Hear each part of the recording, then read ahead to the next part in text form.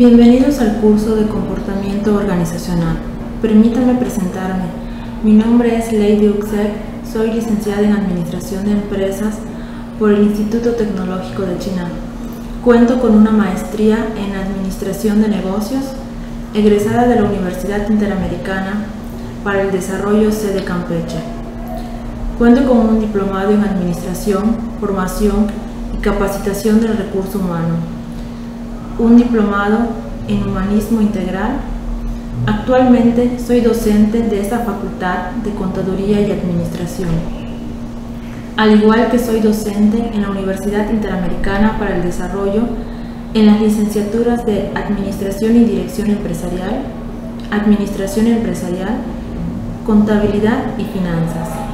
Soy asesor PYMES en una consultoría de negocios, asesor certificado de la Red de Apoyo al Emprendedor por el Instituto Nacional del Emprendedor, prestador de servicios profesional de la Financiera Nacional en elaboración de proyectos a empresas rurales y empresas con intermediación financiera. Cuento con una acreditación por parte de la Zagarpa para la elaboración de proyectos y brindar asistencia técnica y capacitación en los programas de apoyo para la productividad de la mujer emprendedora Promete, programa del Fondo para el Apoyo a Proyectos Productivos en los Núcleos Agrarios, FAPA.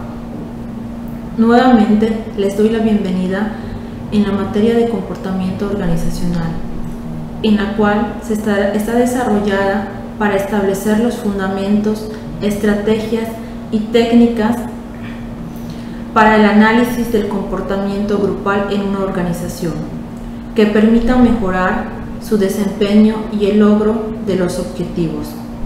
Entre las subcompetencias que se esperan alcanzar en el desarrollo de este curso es identificar los conceptos básicos del comportamiento organizacional para ejemplificar problemas específicos del factor humano en las organizaciones mediante sus propios elementos.